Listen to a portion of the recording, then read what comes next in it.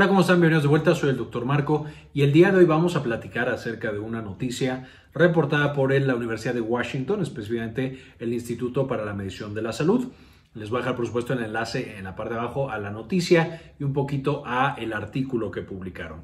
Y básicamente ellos están analizando la tasa de natalidad que hay en el mundo. Por supuesto, la tasa de natalidad es la cantidad de bebés que nacen por cada mujer que hay en el planeta. Y específicamente encontraron que la tasa de natalidad se ha contraído de manera muy, muy importante. Y en el 2017 fue de 2.4 bebés por cada mujer. Por supuesto, ahí es eh, importante mencionar que para que una población sea estable, es decir, para que los seres humanos mantengan el, mismo número de personas que existen en la actualidad, se necesita una tasa de natalidad de dos. ¿Por qué? Porque dos personas dan lugar, por supuesto, a dos bebés. Eh, y entonces nos mantenemos igual. Siempre que la tasa de natalidad está por encima de dos, en términos generales la población se incrementa, que es lo que hemos visto por muchos, muchos años aquí en el planeta Tierra.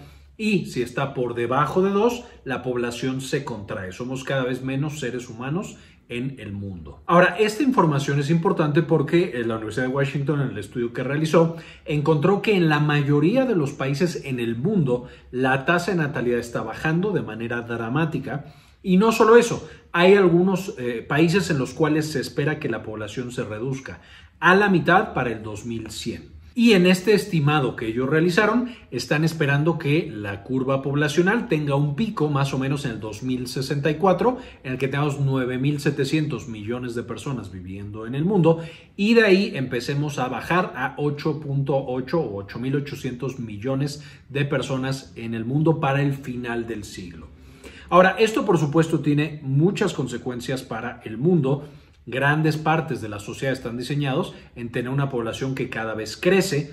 Eh, por ejemplo, el sistema de pensiones, en el cual la gente joven tiene que mantener a la gente que es adulto mayor a través de su trabajo y después cuando ellos envejecen, ahora son los jóvenes los que les toca mantener a esa población. También los, los sistemas de salud, por supuesto, están diseñados para tener una población pequeña, que es ya adulto mayor o anciano y que tiene todas las complicaciones de la salud de ese tipo de población y tener una gran mayoría de pacientes jóvenes que no tienen grandes requerimientos del sistema de salud. Esto podría verse invertido cuando tengamos una población que se está reduciendo y por supuesto también una población que está envejecida.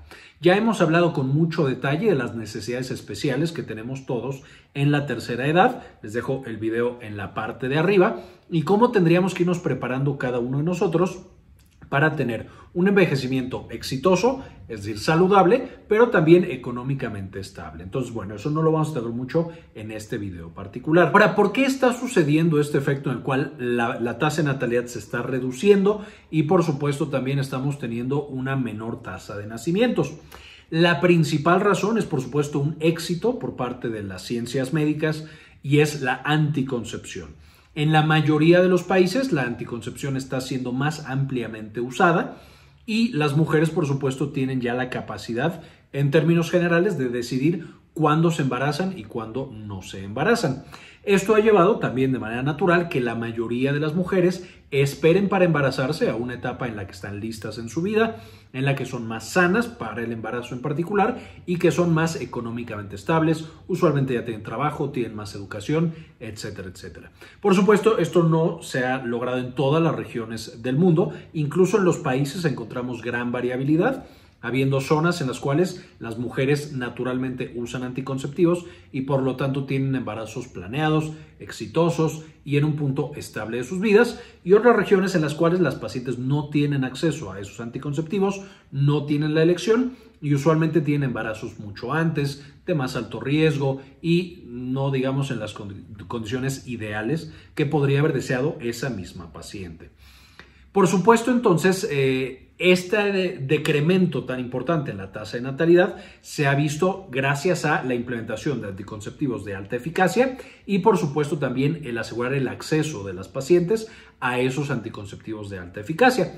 También ya hemos hablado de anticonceptivos, de hecho tenemos un video de los mejores anticonceptivos que les dejamos en la parte de arriba en donde justo exploramos cuáles de todos los métodos son los que han logrado una mayor reducción en esta tasa. Ahora, algunos de los países que se verán impactados de una manera más relevante son, por supuesto, los países en los cuales ya tienen una tasa de natalidad baja, ya la población está relativamente envejecida y por lo tanto sus tasas de natalidad continuarán decayendo y tendrán un eh, encogimiento, digamos, de la población que tienen.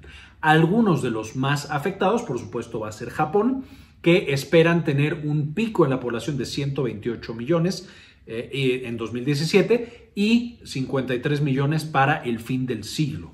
Eso, por supuesto, siendo un decremento muy, muy importante. Otro de los países eh, importantemente afectados va a ser Italia, que se espera tenga un pico de población en 2017 de 61 millones y para el final del siglo tenga 28 millones de habitantes. Eh, España, por ejemplo, y de hecho muchos países europeos estamos viendo esta misma tendencia en la cual la población es cada vez más pequeña, hay cada vez menos natalidad y por supuesto van a tener que se encogen las poblaciones que viven en estos países específicos. Incluso en países como Estados Unidos, se que es un país bastante, bastante grande, se espera que se reduzca eh, esta tasa de nacimiento y por lo tanto más adelante se reduzca la población.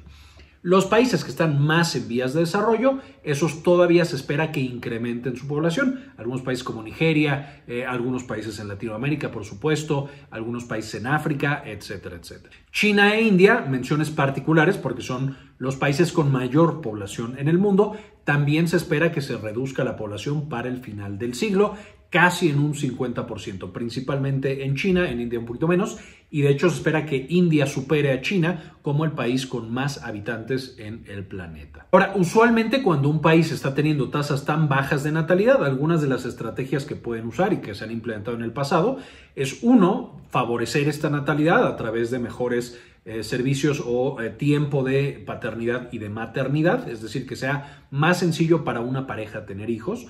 También se han dado incentivos monetarios y fiscales para tener hijos y para meterlos a la escuela y otros, y otros puntos. Y por supuesto el tema de la migración, que cuando una población está muy envejecida y es súper complicado que vayan a tener un boom de nacimientos, la eh, adquisición o digamos el permitir que migrantes lleguen a tu país puede cumplir muchas veces eh, como un buffer para tener más natalidad, porque de nuevo eh, son personas que vienen de países menos desarrollados, usualmente jóvenes, usualmente todavía en ese punto de natalidad, y van a favorecer a que crezca la población de este segundo país y los niños eh, e hijos van a estar ya muchas veces en ese segundo país, trabajando, naturalizados, estudiando, etc. Entonces, la migración es un punto importante que puede llegar a balancear este punto. Sin embargo, la migración solo funciona cuando el país A tiene una alta tasa de natalidad y el país B la tiene baja. Sin embargo, en este mismo estudio están demostrando que de todos los países, más o menos 184 están presentando niveles importantes de decrecimiento en la natalidad de, eh, que tienen localmente. Si todos los países tienen una contracción en la natalidad, este tema de la migración, por supuesto, ya no serviría como buffer poblacional. Aunado también, o como otra cifra para mostrar el problema que podríamos llegar a tener, este mismo estudio proyecta que el número de personas que están por debajo de 5 años de edad va a pasar de 681 millones a 401 millones. De nuevo, 2017 a 2100, que es el final del siglo. Mientras que las personas que tengan 80 años o más va a pasar de 141 millones a 866 millones. De nuevo, 2017-2100.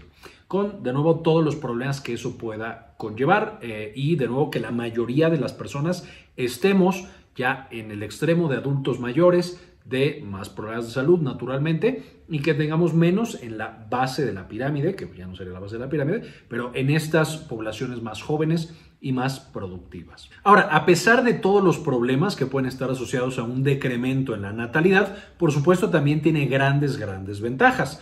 El hecho de tener menos seres humanos, pues también hace que se requieran menos recursos para alimentar, vestir y que tenga una vida saludable y normal todos esos millones de seres humanos.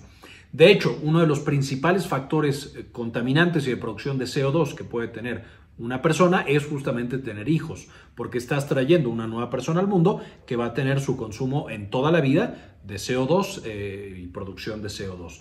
asociado de, nuevo a cambio climático y a calentamiento global. Al reducir los requerimientos alimenticios y de vestimenta, pues también se requiere menos espacio para cultivar y entonces tenemos más espacio para la biosfera, la protección de especies, etcétera, etcétera. Como todo, es un balance y tenemos ventajas y tenemos desventajas de este cambio poblacional.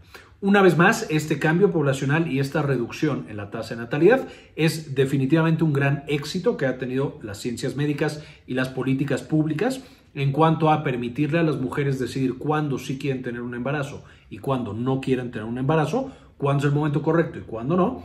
Naturalmente también veremos que seguimos avanzando hacia allá mientras más sitios tienen un mejor acceso a anticonceptivos de alta eh, eficacia y las mujeres eh, van recuperando su derecho a controlar su, su, propia tasa de natalidad o su fertilidad. Ahora, con todo esto quiero que ustedes también me digan qué es lo que opinan. ¿Les parece que esto es algo bueno? ¿Les parece que esto va a traer muchísimos problemas?